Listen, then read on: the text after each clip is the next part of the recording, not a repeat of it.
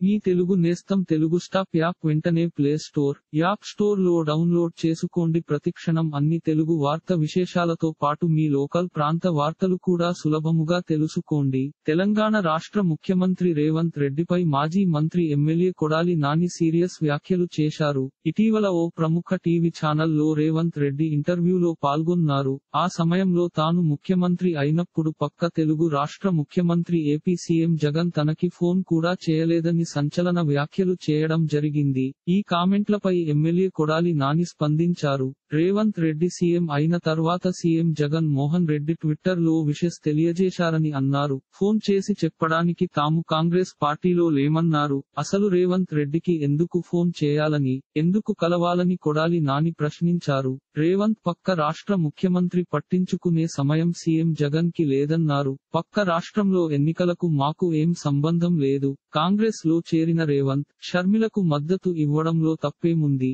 రేవంత్ రెడ్డి ఏపీకి వచ్చి పీసీసీ బాధ్యత తీసుకోమని చెప్పండి. చంద్రబాబును గెలిపించడం కోసం రేవంత్ ఏపీకి వస్తాడేమో అని సీరియస్ కామెంట్స్ చేశారు. వచ్చే ఎన్నికలకు సంబంధించి చంద్రబాబు టికెట్లు అమ్ముకుంటున్నారు. నూట యాభై కోట్లకు ఎంపీ సీటు కేశినేని చిన్నికి అమ్ముకున్నాడు అని ఆరోపించారు. కష్టకాలంలో పార్టీ కోసం పనిచేసిన కేశినేని నానిని బాబు మోసం చేశారు. నా గుడివాడలో కూడా వంద కోట్లు ఇచ్చినోడికి సీటు ఇచ్చారు. రాజ్యసభ ఎమ్మెల్సీ సీట్లు కూడా చంద్రబాబు అమ్ముకుంటున్నాడు అంటూ కొడాలి నాని సీరియస్ వ్యాఖ్యలు చేశారు. ఇలాంటి మరిన్ని తెలుగు వార్త విశేషాలు కోసం ఛానల్కి సబ్స్క్రైబ్ చేసి గంట నొక్కడం మర్చిపోకండి.